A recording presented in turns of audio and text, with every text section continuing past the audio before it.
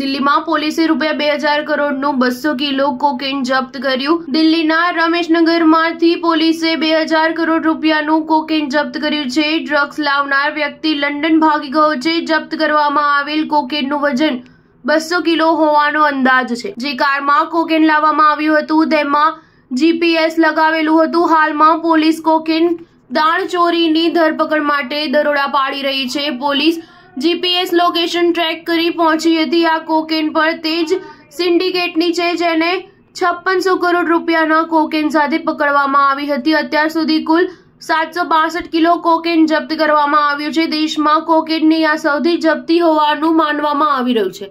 આ અગાઉ પંજાબમાં એક મોટી ડ્રગ સિન્ડિકેટનો ખુલાસો થયો હતો. છપ્પનસો કરોડના ડ્રગ સિન્ડિકેટ કેસમાં લગભગ દસ કરોડનું કોકેન પંજાબમાંથી જપ્ત કરવામાં આવ્યું હતું. સિન્ડિકેટને બ્રિટન અને દુબઈથી કોકેનનો મોટો જથ્થો પૂરો પાડવાનો ઓર્ડર મળ્યો હતો. દિલ્હીમાં બીજી ઓક્ટોબરે ડ્રગ્સનો એક મોટો જથ્થો જપ્ત કરવામાં આવ્યો હતો. સૂત્રોના જણાવ્યા અનુસાર પાંચસો કિલોથી વધુનો કોકેન જપ્ત કરવામાં આવ્યો હતો. દિલ્હી પોલીસના સર્ચ ઓપરેશનમાં આ જથ્થો પકડાયો હતો. સ્ટાર ન્યૂઝ સેવન હંમેશા સચ્ચાઈની સાથે